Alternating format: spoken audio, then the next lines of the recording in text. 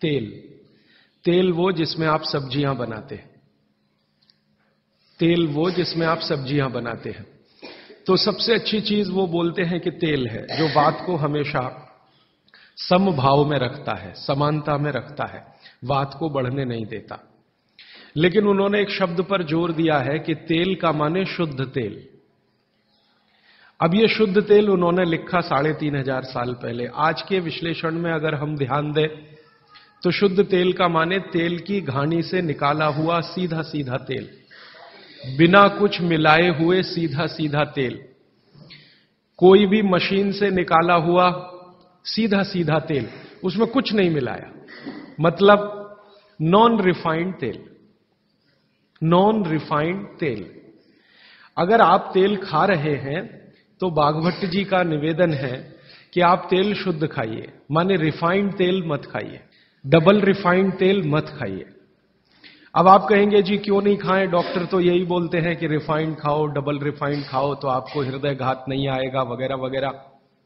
ये जो रिफाइंड तेल है, मैंने इनको देखा है कैसे रिफाइंड किया जाता है। आप भी देख लें, कभी मौका मिले तो बहुत अच्छा होगा।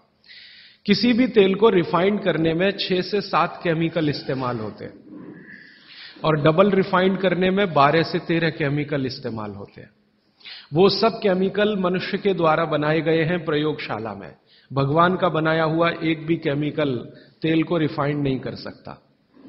भगवान का बनाया हुआ माने प्रकृति का दिया हुआ, जिसको आप अंग्रेज़ी में कहते हैं ऑर्गेनिक ऑर्गेनिक एक भी केमिकल नहीं है जो तेल को साफ़ कर सके। एक भी केमिकल दुनिया में नहीं। जितने भी केमिकल तेल को साफ़ करने के लिए उपयोग किए जाते हैं, वो सब इनऑर्गेनिक है। और इनऑर्गेनिक केमिकल ही दुनिया में जहर बनाते हैं और उनका कॉम्बिनेशन जहर की तरफ़ ही लेके जाता है। आज की दुनिया में मॉडर्निज्म के नाम पर, आधुनिकता के नाम पर जितने इनऑर्गेनिक केमिकल्स जगह जगह इस्तेमाल हो रहे हैं, वो सब आपको धीरे धीरे उस तरफ़ ले जा रहे हैं, जहाँ आप जहर अपने ही शरीर में पैदा कर दें। इसलिए रिफाइंड तेल डबल रिफाइंड तेल, गलती से भी मत खाइए। भागवत जी कहते हैं कि ज़िंदगी भर वात को ठीक रखना है, ज़िंदगी भर। तो वात को ठीक रखने के लिए सबसे सरल चिकित्सा वो बोलते हैं, वो तेल का ही है। वो कहते हैं, शुद्ध तेल खाइए। शुद्ध तेल माने घानी से निकाला हुआ तेल। अब आपके मन में दो प्रश्न आएँगे तुरंत, कि शुद्ध तेल में तो बास बहुत आती है। हाँ, सीधा प्रश्न। दूसरा प्रश्न आएगा, जी, शुद्ध तेल बहुत चिपचिपा होता है। गाढ़ा होता है, चिपचिपा होता है और बास अलग से आती है। हम लोगों ने जब शुद्ध तेल पर भारत देश के कुछ वैज्ञानिकों की मदद से काम किया, एक तरह से कहें रिसर्च किया तो पता चला कि तेल का जो चिपचिपापन है, वो उसका सबसे महत्वपूर्ण घटक है। तेल में बहुत कुछ होता है। जैसे मैंने आपको पहले दिन बताया ना, मिट्टी में माइक्रो न्यूट्रिएंट्स है, कैल्शियम है, आयरन है, सिलिकॉन है, कोबल्ट है, ऐसे तेल में भी है, हर चीज़ में है। तो तेल का जो सबसे महत्वपूर्ण हिस्सा है, वो उसका चिपचिपापन ही है। और जैसे ही तेल में से ये चिपचिपापन निकाला तो पता चला वो तेल ही नहीं बचा। तेल जिस चीज़ के लिए खाया जाता है, वो बचा ही नहीं, वो हिस्सा ही गायब हो गया। फिर हमने देखा कि तेल में जो बास आ रही है, बास वो उसका प्रोटीन कंटेंट है। तेल में प्रोटीन बहुत है। जैसे आपने सुना है, दालों में प्रोटीन होता है। दालों में प्रोटीन सबसे ज़्यादा है, भगवान का, ईश्वर का दिया हुआ। दालों के बाद दूसरे नंबर पर जो प्रोटीन सबसे ज़्यादा है, वो तेलों में है। तो आप जो तेल में देख रहे हैं कि उसकी बास है, वो बास जो है ना, उसका ऑर्गेनिक कंटेंट है प्रोटीन के लिए। चार पाँच तरह के प्रोटीन है सभी तेलों में। आप जैसे ही तेल की बास निकालेंगे, उसका प्रोटीन वाला घटक गायब हो जाता है।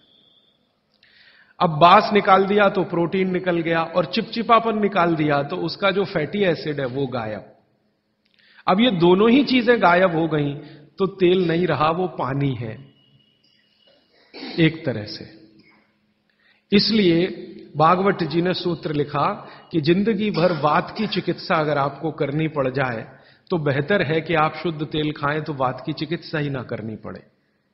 और मैंने आपको सबसे पहले दिन बताया था कि दुनिया में सबसे ज़्यादा रोग वात के ही हैं। सबसे ज़्यादा रोग। ये घुटने दुखना से लेकर कमर दुखना, हड्डियों में दर्द, ये वात के तो रोग है ही। सबसे खतरनाक वात का रोग है हार्ट अटैक हृदय घात सबसे खतरनाक बात का रोग है पैरालिसिस।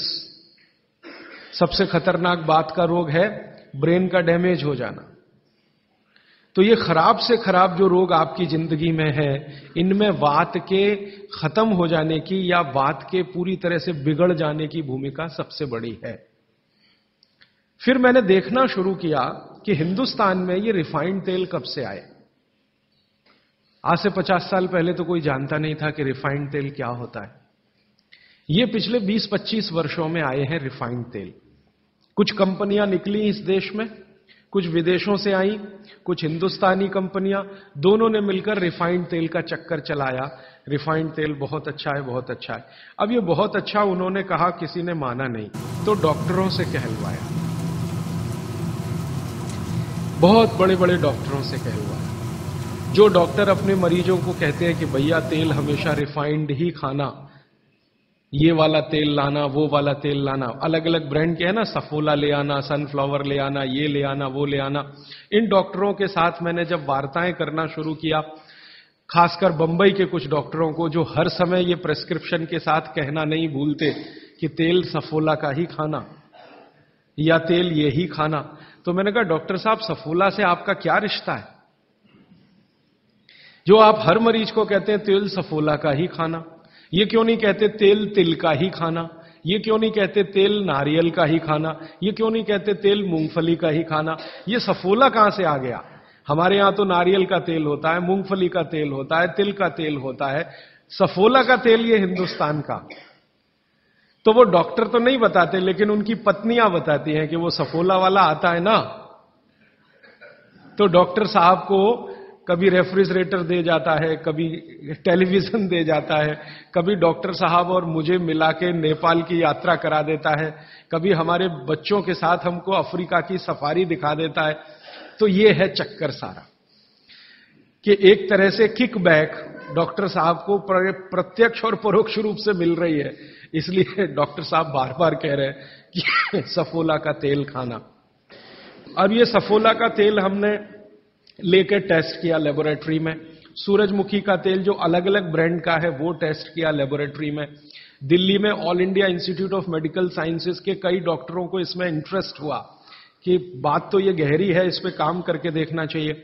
तो वो डॉक्टरों ने जो कुछ भी निकाल के दिया है रिसर्च के रूप में, है तो बहुत मोटा हिस्सा, अगर बात करूँ तो बहुत दिन बीत जाएँगे। उसका निष्कर्ष एक वाक्य में बता देता हूँ कि तेल में जैसे ही आप बाँस को निकालेंगे और उसका चिपचिपापन हटाएँगे, वो तेल ही नहीं रहता। तेल के सारे महत्वपूर्ण घटक निकल जाते हैं।